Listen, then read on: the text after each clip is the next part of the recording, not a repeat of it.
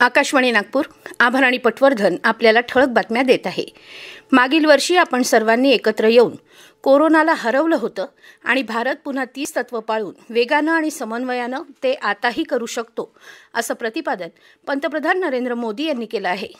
उच्चपदस्थ अधिकाऱ्यांसमवेत कोविड संदर्भातील उपाययोजनांच्या आढावा बैठकीत ते काल बोलत होते. औषध ऑक्सिजन व्हेंटिलेटर्स आणि लसीकरण आदी मुद्द्यांवर त्यांनी यावेळी चर्चा केली. चाचणी रुग्णांचा शोध आणि उपचार याला कोणताही पर्याय नसल्याचं ठाम प्रतिपादन मोदी यांनी केलं आहे. स्थानिक प्रशासनानं नागरिकांबद्दल संवेदनशील राहणं आवश्यक असल्याचं ते म्हणाले. राज्यांनी कोविड रुग्णालयांचं नियोजन आधीपासूनच करून त्यांची संख्या वाढवण्याची आग्रही सूचना केंद्रीय आरोग्यमंत्री डॉक्टर हर्षवर्धन यांनी केली आहे.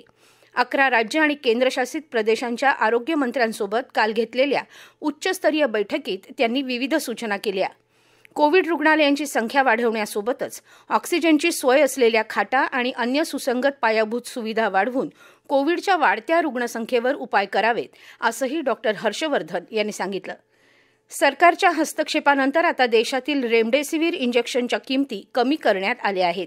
राष्ट्रीय औषध दर प्राधिकरणानं याबाबतचं निवेदन प्रसिद्ध केलं असून सरकारच्या हस्तक्षेपानंतर बहुतांश औषध निर्मात्या कंपन्यांनी स्वतःच किमती कमी करत असल्याचं जाहीर केलं.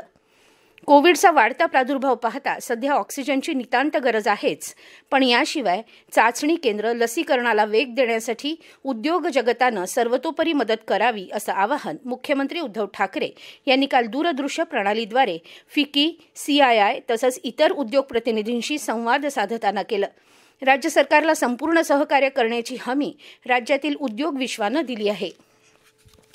नागपूर शहरात वाढत्या कोरोना संक्रमणाच्या पार्श्वभूमीवर केंद्रीय मंत्री तसंच नागपूरचे खासदार नितीन गडकरी यांनी विदर्भातील सर्व जिल्ह्यात रेमडेसिवीर इंजेक्शनचा पुरवठा सुरळीत करण्यासाठी वर्धा इथं प्रतिदिवस चाळीस हजार इंजेक्शन निर्मिती प्रकल्प सुरू करण्यात आल्याची माहिती दिली.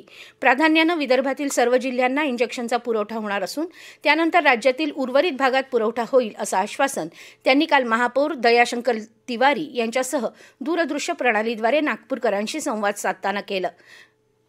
याबरोबरच हे बातमीपत्र संपलं. नमस्कार.